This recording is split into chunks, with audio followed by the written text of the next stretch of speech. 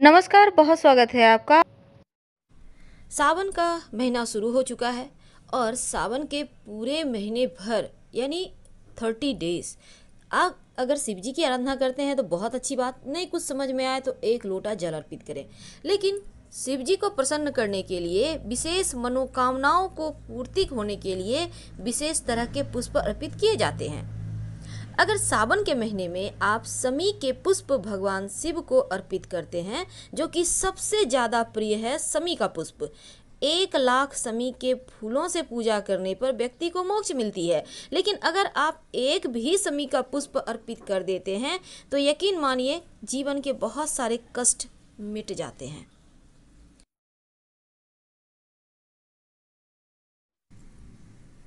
धतुरे का फल पुष्प। ये जो धतूरा होता है ना, ये आपके संतान प्राप्ति की मनोकामना को पूर्ण करता है।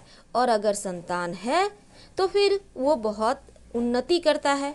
अगर संतान की इच्छा है, संतान की मनोकामना है तो आप पति पत्नी दोनों मिलकर या आप अकेले भी कर सकते हैं। अगर धतूरे शिवलिंग पर अर्पित करें और लाल डंठल वाला धतूरा मिल जाए तो सबसे ज़्यादा उत्तम माना जाता है। सफ़ेद वाला भी ठीक है, लेकिन लाल वाला ज़्यादा अच्छा होता है। अब बात करते हैं आग के पुष्प की।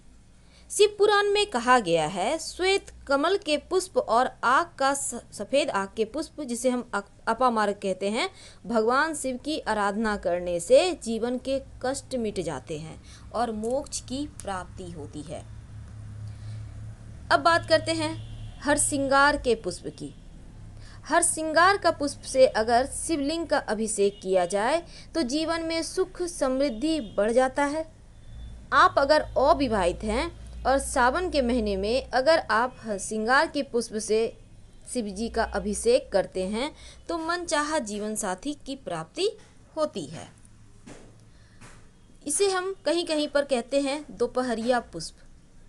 ये पुष्प बड़ा ही निराला है। इसका नाम बंदूक के नाम से भी ये जाना जाता है, लाख दोपहरिया इसे शिव जी की पूजा करने से जीवन में कभी भी धन और आभूषण की कमी नहीं होती, यानी धन और आभूषण की प्राप्ति होती है और भगवान शिव जल्द ही प्रसन्न होते हैं इस पुष्प को अर्पित करने से। यह है अगस्त पुष्प। अगर अगस्त का पुष्प भोलेनाथ को अर्पित किया जाए तो आपका मान सम्मान यश बढ़ता है, प्रतिष्ठा बढ़ती है। और इस वृक्ष के नीचे ऐसा माना जाता है, अगस्त मुनि ने तपस्या की थी। इसीलिए इस पुष्प का विशेष महत्व है। गुड़हल का पुष्प। बहुत सारे लोग कहते हैं, गुड़हल का पुष्प शिवलिंग पर नहीं चढ़ाना चाहिए, लेकिन ऐसा गलत है। अगर आप शिवलिंग पर गुड़हल का पुष्प अर्पित करते हैं तो शत्रु चाह कर भी आपका नुकसान नहीं पहुँचा सकते। और जाने अनजाने शत्रु की बुद्धि ही बदल जाती है। आपके तमाम कार्य भी बनने लगते हैं। अगर आप गुड़हल का पुष्प शिवलिंग पर अर्पित करते हैं, तब। वैसे, आप माँ पार्वती, गणेश जी को भी गुड़हल का पुष्प अर्पित कर सकते हैं, विशेष मनोकामनाओं की पूर्ति के लिए। बेलपत्र।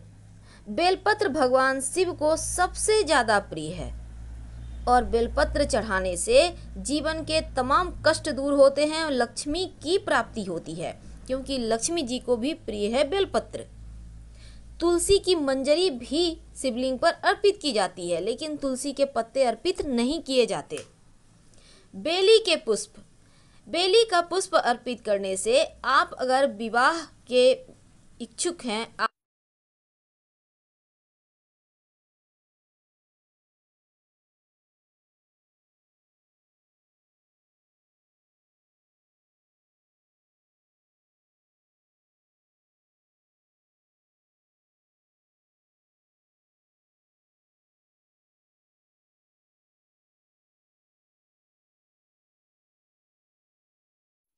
आपका विवाह तय होता है और चमेली के पुष्प अर्पित करने से वाहन का सुख मिलता है, व्यक्ति दौलतमंद भी बनता है। बात करते हैं दुर्वा की।